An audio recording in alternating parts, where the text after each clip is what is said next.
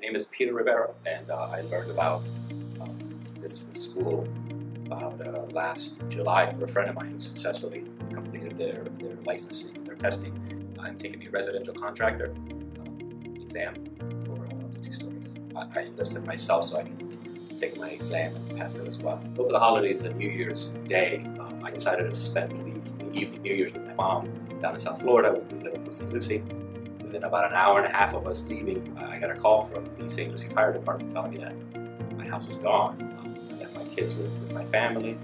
Went back up only to find my house burned to the ground, including the books that um, uh, 1Exam Prep had given me to prepare for my uh, license exams.